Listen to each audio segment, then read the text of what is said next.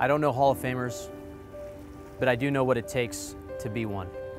Trey Shackleford, what makes him unique is his attitude and his mindset. Trey Shackleford deserves this award because of his hard work and dedication. Everything he does, he does 100%, and he's 100% committed. The greatest thing about Trey is that a lot of what he, what, what he gained on the field, he took off the field with him. So his dedication, his, his commitment, everything about him, he was able to gain that knowledge on the field and actually practice it and take that off the field and apply it to everything in his life. And you know, he's, he's constantly practicing before practice, after practice, before school, after school.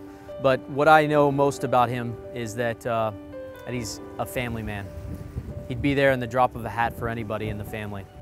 I've known Trey for a while, and uh, and I think one of the, one of my my fondest memories of Trey is uh, I was on a trip to the East Coast, and I was visiting him, just speaking to the man that Trey is. He uh, he asked for my sister's hand in marriage. You know, one, it was the, the thought was traditional, but he did it in an untraditional way, which uh, which I thought was was amazing, and and it just talks to the person that he is. I didn't have the privilege of knowing Trey uh, while he was on the field, but I knew him quite a bit off the field. Um, again, we live on different coasts. He lives on the East Coast, I live on the West Coast, but at least once a year we try to get the families together.